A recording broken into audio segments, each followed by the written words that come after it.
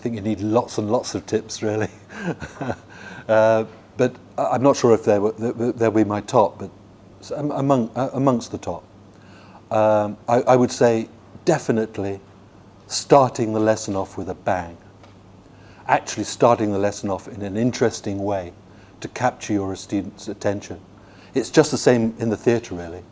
If the actors start a performance, if they start a performance well, and they capture the audience's attention, then they've got more chance of holding their attention uh, throughout the play. And, and quite often, you know, actors feel, we didn't start well. We didn't start well today. That's why the audience weren't interested. They didn't applaud so much.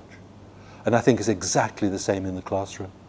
And unfortunately, quite a lot of the things we sometimes feel we need to start a class with aren't things which capture their attention.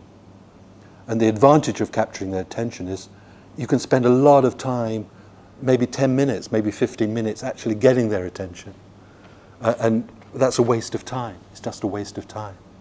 And I think it's very much the kind of things we start a lesson with. Uh, I mean, we have to take the register very often in class, but that is so boring. Everybody knows their name. And so it immediately kind of, this is what we always do. We always start with the lesson with the register.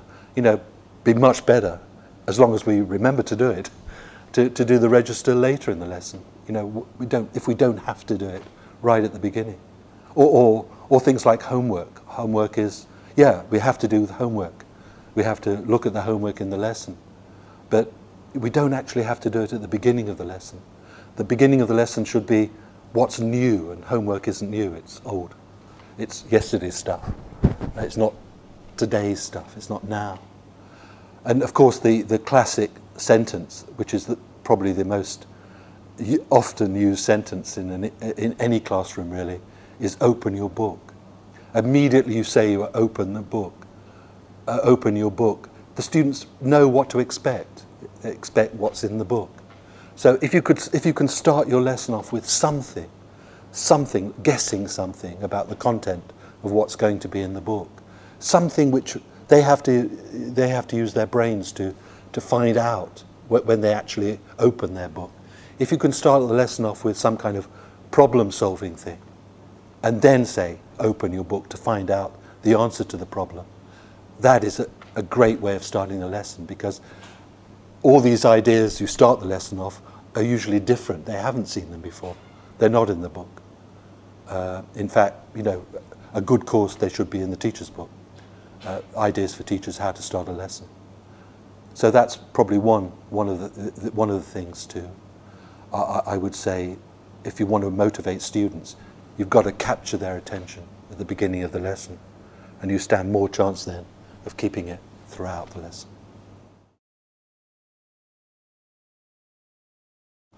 Another one I think is this, the students have got to be involved at all stages in the lesson.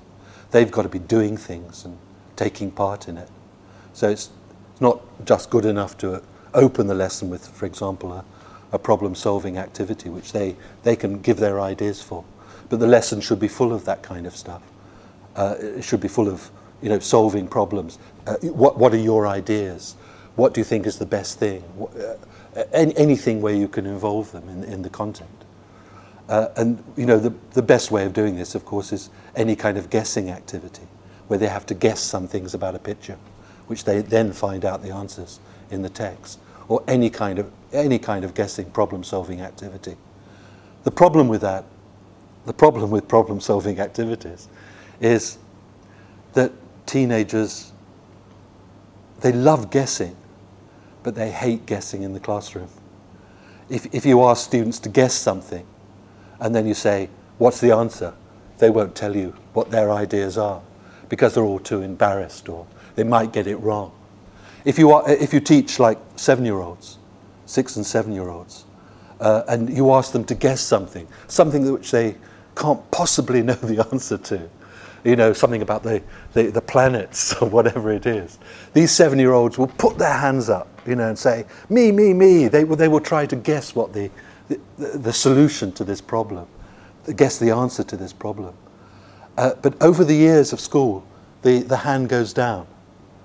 and it goes down because when, when, very often when we ask students to guess, then we say, that was the wrong answer.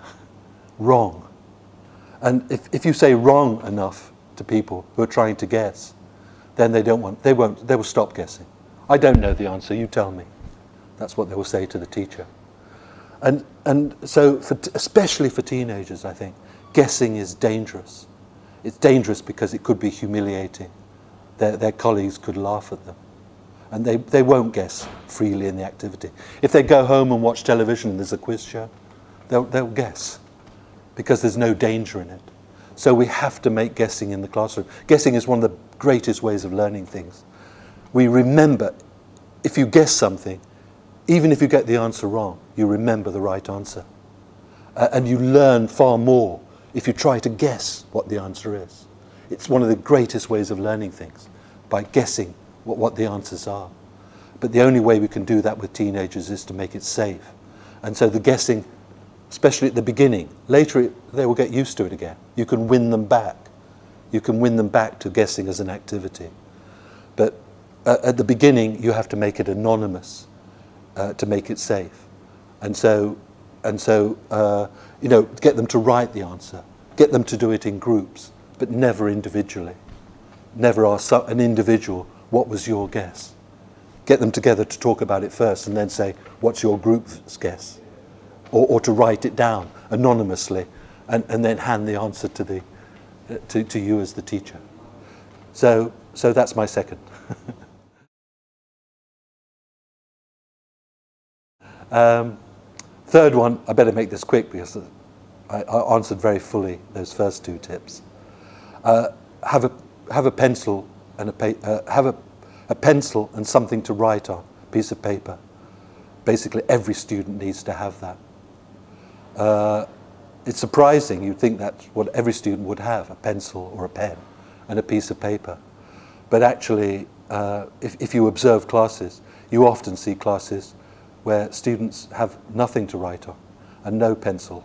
So, you know, when you're doing your training at the beginning of a course with a new class, one thing you have to really train them to do is you have to have a pencil. You have to have a paper. You have to do everything to get that, to get them to do that, to have a piece of paper in front of them and something to write with. And the reason for this is uh, there's, uh, there's so many thing, opportunities in a lesson where they could actually do something with that piece of paper and that pencil. They could draw a piece, uh, uh, an item of vocabulary. They could, they could write down an answer if they're guessing. Uh, they, they could compare that with their students. Uh, they, uh, there's so many things. Even if they doodle, at least they're doing something with that piece of paper. But I, I've seen so many classes where students did not actually, they said nothing in the class and they did nothing, a whole class, 50 minutes. And they, they weren't doing anything at all, absolutely nothing. And, the, uh, you know, again, you can think of lots and lots of ways of things you can do with a piece of paper. So constantly in the lesson, you should be asking those students, do something on that piece of paper. Write that answer. Write, you know, draw a picture of the piece of uh, item of vocabulary. So yeah, that's my third tip.